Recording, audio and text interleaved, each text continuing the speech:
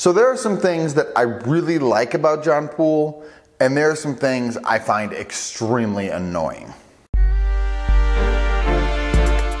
Hello everyone, Dylan Schumacher, Citadel Defense, and we are back with another edition of Tactical Book Review. And today's book is The Tiger's Way, a U.S. private's best chance for survival by H. John Poole. This book was released in 2003, and that's going to be somewhat important for the purposes of this review because that is uh, mostly before the global war on terror. Yes, 9 11 happened in 2001, so it was definitely the early years of the global war on terror. Uh, however, you know, we've learned a lot in the past 20 some years that may or may not be actually included in this book.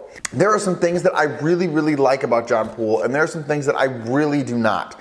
This is my fourth John Poole book that I have read, and honestly, for me, it's probably going to be the end of the John Poole reading. This book is based around the Tiger's Way, and so primarily here what he's trying to say is the Eastern way of fighting war, and by Eastern, he includes China, North Korea, uh, Japan in World War II, North Vietnam and Vietnam, the Viet Cong in there obviously is part of that. Germany during World War II and World War I, and Russia during World War II primarily. And in these Eastern way of fighting, he, he, labels that all under the Tiger's Way. And if you've read other John Poole books, he mostly says a lot of the same stuff. These armies fight a different way. They use superior small unit tactics to overcome America's uh, technological and firepower advantage, and thereby they are much more adept at small unit tactics than we are, and we should change to be more adept at small unit tactics.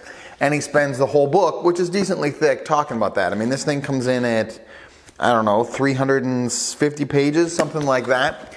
Uh, so it's, it's thick. Honestly, it could be about half as long and just as effective. Additionally, as I'm reading this book, I keep thinking about the war in Ukraine. And I keep thinking about Russia is included in one of the people he lists here. Now, granted, he primarily means Russia during World War II, but he refers to them even into this book, into the modern era, as, you know, still doing these small unit tactics better. And if you've been following the war in Ukraine at all, uh, the Russian, you know, small unit tactics in Ukraine have been abysmal. I mean, abysmal.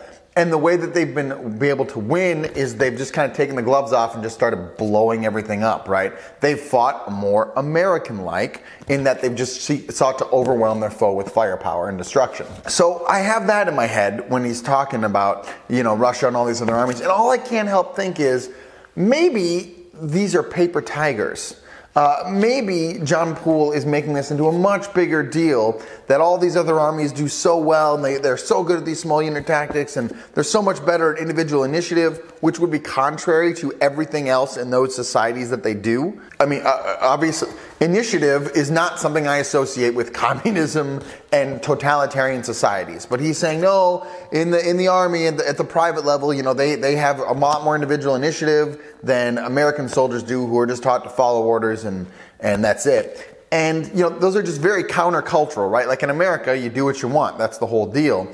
And in the the you know the places he's referring to like north korea or china you know they're very communist totalitarian shame-based societies where you're not just going to step out of line and do something right? So that's kind of weird. And i'm just starting to think maybe god bless him he's just off the mark here. Maybe john poole's just off the mark as far as an actual real survey of the situation.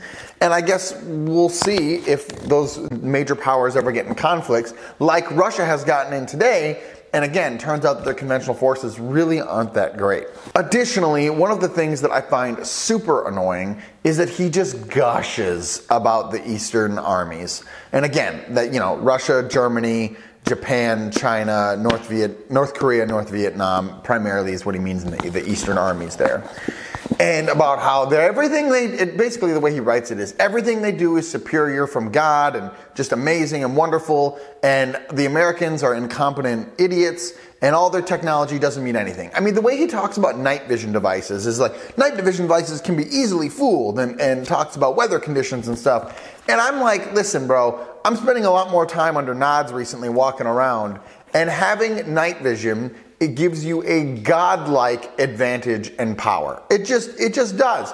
I'm sorry, I'd rather take someone who's at, I don't know, 60, 70% training, whatever that means, right? Compared to someone who's at 100%. If the 60% guy has nods and the 100% guy doesn't, I'm sorry, my money's on the 60% guy because night vision is that much of an advantage. So it feels really weird to me to be talking about how easily defeated thermal devices are. And I'm like, I don't know, thermal again, it's pretty impressive. So, this idea that you can just easily overcome all technology problems with just a little bit of fieldcraft and wit, I'm just like, ah, I have a hard time buying that. He spends a lot of time talking about tunnels and how in the East they like to tunnel under things. You know, again, think Vietnam being a perfect example, right? Uh, they build all these tunnel complexes and stuff, and I'm like, well, there are certain places where you can't do that because the earth doesn't support it. Like, you know, you'd have to build like timber structures and you have to do a lot more to just tunnel into the earth. And Vietnam had tons of tunnels left over uh, because they've been building them for a very long time. So it's not like they built that all from scratch right away. So should we, to completely negate tunnel fighting, should we not consider building tunnels? No, that's not what I'm saying. What I'm saying is there again there are special considerations, and I don't think he gets into the, the details or the finer considerations of tactics like that. He just says, "Oh, tunnels good, build more tunnels." And I'm like, "Well, what if you can't? Like, what, what if there are actual physical limitations there?"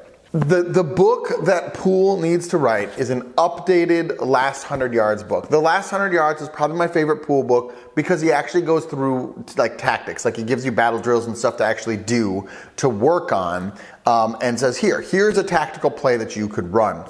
And we need more of that. I, I think that's what Poole needs to write next. And I don't know if he ever will, but that would be the book that I would certainly be interested in reading if he wrote it because this continued gushing about how great the Eastern armies are and how proficient their tactics are and how poor the U.S. Army tactics are, I, I, it's one, I'm not even sure if it's true.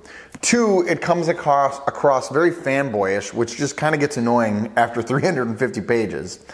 And three, I really think that a lot of those things he complains about modern U.S. military units do incorporate into their tactics.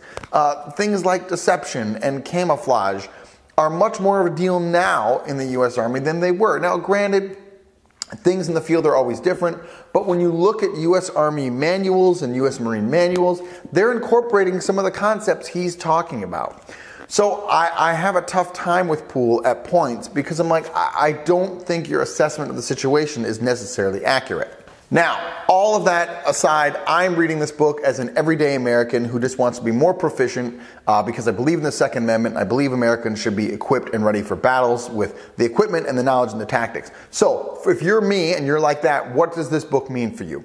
There are some gleanings you can definitely take from this book, and I would probably recommend The Last Hundred Yards to you as the first Poole book to read, but I might put this in as the second because he does a very good job of hitting on things like deception uh, and, and, having your small unit try to deceive the other small unit into doing something you want them to do so that you can have a tactical advantage. He does get off the rails a little bit here on some of his Eastern mythical arts, shall we say, things like hypnosis, and uh, he talks a lot about the ninja and basically how they're like this you know, semi demonic force of super spiritual power, then I'm like, ah, okay, you know, it's probably demonic. I probably agree with that point, um, but I don't think that's something we should emulate.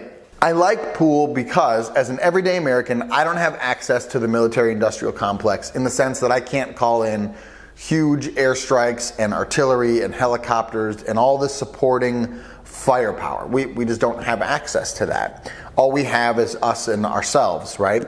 So, in that sense, this book does give you some helpful pointers because, again, it, he's talking about small unit tactics. Now, what you need to realize from the book is he's not going to give you like what, what to go do. He's going to give you big concept ideas of these are what other people have done, and maybe this is something you could kind of sort of think about how to incorporate in your thing. But the, the connect that he does not draw the connecting points, which I find frustrating at points, and I wish he would. So all in, I think this book is certainly worth a read if you're into that kind of thing. However, if you've read several Poole books before, I don't know if you're really going to get a lot of value out of this. He seems to be very repetitive in a lot of his books, which is one of the reasons I might just be done with him for the foreseeable future. I think the most important takeaway from the Poole books is to get out and actually try some of this stuff. If you have some friends where you can get out and you can try sneaking up on each other at night, I think that would be a valuable exercise to do. If you could work on his stalking lanes drill, I think that would be a valuable exercise to do.